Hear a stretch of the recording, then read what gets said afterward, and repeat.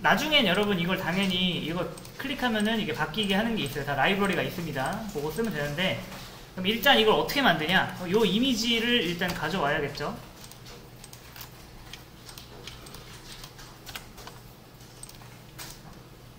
그거를 포크를 해서 이제 시작을 할게요. 포크를 하고 뭐 쓸데없는 거 다 지우고 그 다음에 아 이거 다 용감하게 다 지우겠습니다. 다 지웠고요. 일단 요거부터 가져와야죠. 어떻게 가져오냐? 우클릭해서 우클릭해서 이미지 주소 복사해서 이렇게 가져오면 되는데 이렇게 이렇게 왔네요. 그러면 div라고 하고서 이건 뭐라고 할까요?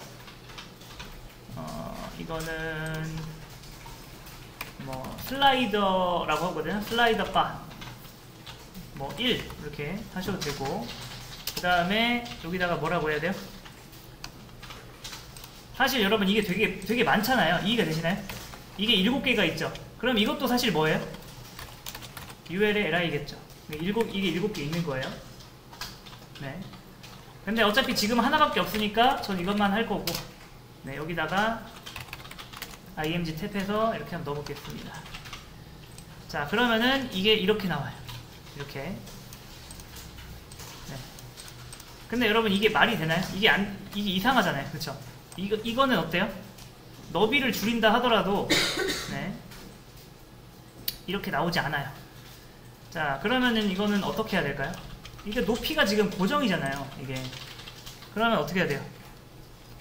왜, 왜, 컨트롤 시프트 C 눌러서 여기다가 이거 400이네 400 그러면 어떻게 된다?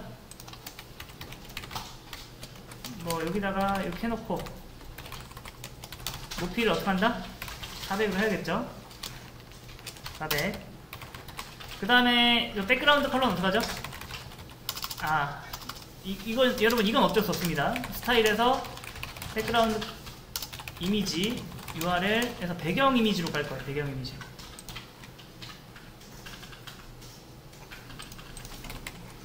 배경 이미지로 깔면은 좋은 게 뭐냐면은 이게 이렇게 됩니다.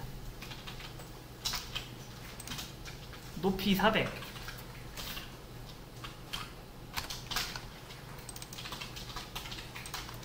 아, 이거 좀 뭔가 이상하게 들어갔네요. 다시 다시. 우클릭해서 이미지 주소 복사해서 자, 이거를 이렇게 그러면 이렇게 나옵니다. 이렇게. 이해되시죠? 근데 여러분 이게 제가 이렇게 했을 때 얘가 어디 나와야 돼요? 얘가 가운데 나와야 될 거 아니에요? 그럼 어떻게 하면 된다? 이거는 자 일단 맨 처음에 제가 그냥 style sheet로 보여드릴게요 background position이라는 게 있습니다 포지션 그러면 center로 할게요 그러면 항상 이 background 이미지가 여기 가운데 중심으로 이렇게 주릅니다 이렇게 이해되시나요? 이렇게 자 이거를 나중에 한번 넣고 빼고 해보세요 그 다음에 뭐 딱히 할 게 있나? 좀 비교를 해볼게요. 여기는 이렇게 나오는데 우리 거 어떻게 나와요?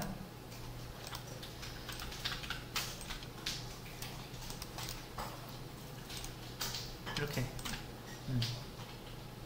나쁘지 않은데요? 네. 일단은 요, 여기까지